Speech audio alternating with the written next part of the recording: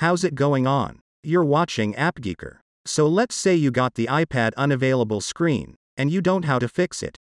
Don't worry for this. Since iOS or iPad OS 15.2, the iPad is disabled message has been changed to iPad unavailable or security lockout. It's exactly the same thing that your iPad is locked, and because of that you can't get into it or use it now.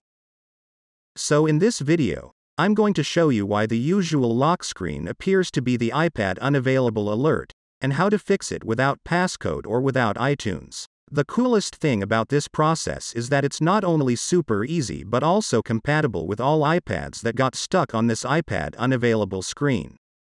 Alright. When your screen reads iPad unavailable, the most possible cause is too many wrong passcode attempts at unlocking the iPad. Then iPad locks you out for a while. After waiting for 1 minute, 5 minutes, 15 minutes, or even 60 minutes, it goes back to the usual background where you can try your passcode to log in again. If your iPad detects an incorrect code one more time, you'll be locked out forever. The locked screen would be iPad unavailable or security lockout, with no try again in minutes. This is what you may come across now. Okay. When you get the iPad unavailable or security lockout message, you'll need to erase and reset your device to remove the passcode and finally unlock it.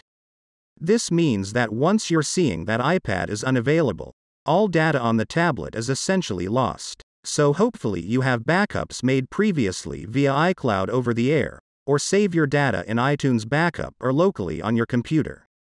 So just be sure that you're risking at losing data on the unavailable screen.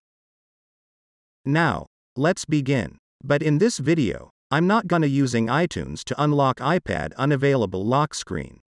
I'm going to show you right now is the erase iPhone function that exactly Apple recommends, as well as a third-party tool called iPad Unlocker from AppGeeker. Both are easier and flexible. Alright. Method number 1 is using the erase iPad option. It's magically showing on this unavailable screen, if your iPad is running iPad OS 15.2 or higher, and is connected to cellular and Wi-Fi network. And once you tap on it, iPad should quickly erase and reset without passcode on its own. Now let's do this. Alright. Keep typing a random passcode 8 times. Don't worry, I know you forgot your passcode. Then, folks, your iPad says it's unavailable, try again in 15 minutes. Okay. That's where the magic happens.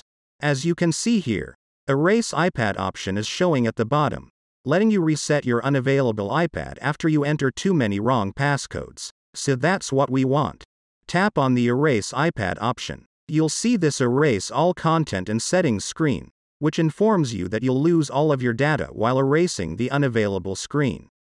To go ahead, tap Erase iPad option one more time. Then, you'll need to log out of your Apple account to disable activation lock on this iPad. Make sure to input the correct Apple ID password so your iPad is able to erase all data and settings including the locked screen and the forgotten passcode. That's done. Just wait a few minutes here. iPad is wiping away everything itself. You'll see the Apple logo and loading bar on its screen. When the progress bar fills up and the Apple logo flashes again, your iPad will get back to the welcome screen again. Now the iPad unavailable is gone, and you can access the tablet. You can set it up as a new iPad as all content has been erased, or restore from a most recent backup to get back your data.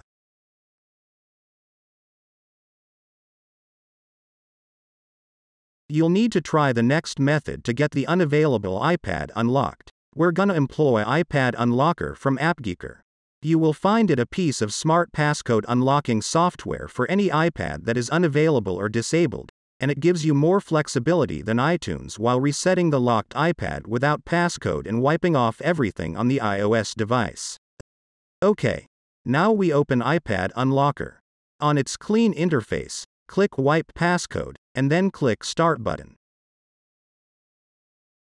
Then we grab the unavailable iPad and connect it to the computer.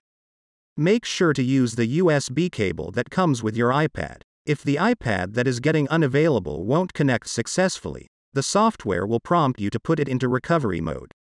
Entering recovery mode requires different steps based on your iPad model, and I'll leave a link for this in the description section down below. So mine is iPad 9th generation, and it's in the unavailable state. Because it has a home button, I press and hold down the home button and power button together for 20 to 30 seconds. Just keep holding, and when the recover mode screen appears, let go of the buttons. Now that iPad is in recovery mode, iPad Unlocker should detect it and show its device information on its screen. Check the details and click Start button. At this time, the software is downloading the appropriate firmware to unlock the iPad unavailable screen. This may take a few minutes. Just wait and don't disconnect your iPad. Once the firmware is downloaded, you'll see a dialog box that says the unlocking process will erase all content and settings on your iPad. If you want to do that, enter 0000 and hit unlock button. The process begins. As you can see guys, iPad is restoring now. All of data will be wiped totally clean including the lock screen passcode. The latest version of iPad OS will install on your device. Wait for the procedure to finish, and the software will also inform you that your iPad has been unlocked successfully. Alright, everything has just completed. iPad restarts, and the iPad unavailable error has been fixed. You will see the hello screen on your iPad just like when you purchased it. Now I'm gonna go ahead and follow the on-screen guidelines to set up iPad again using your Apple ID and password. Simply choose the language, country or region. Set up a new passcode, Touch ID or Face ID, now or later in Settings app to keep anything always secured. When you get into the apps and data screen and if you have a backup of your iPad, you can choose to restore from Mac or PC, or just download from iCloud. If you never backed up your data, anything would be lost and irretrievable. Okay, everything is ready. I'm just able to gain access again to iPad. Absolutely super easy. Make sure to sign into iCloud if you haven't done this in the setup process.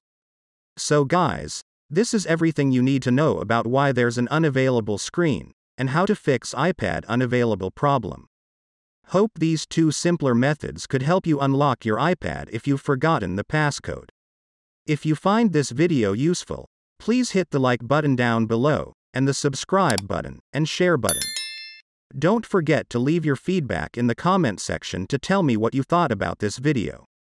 So that's pretty much it. Bye. See you guys on my next video.